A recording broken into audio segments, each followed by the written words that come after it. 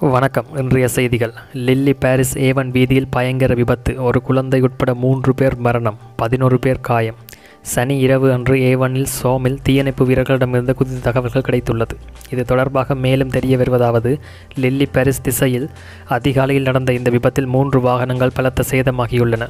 முதல் வாகனத்தில் இருந்த ஐந்து பேரில் மூன்று பேர் இறந்துள்ளனர். இரண்டு பெரியவர்கள் மற்றும் ஒரு குழந்தை இதில் உள்ளடக்கம். மேலும் இருவர் படுகாயமடைந்து அவசர நிலையில் உள்ளனர்.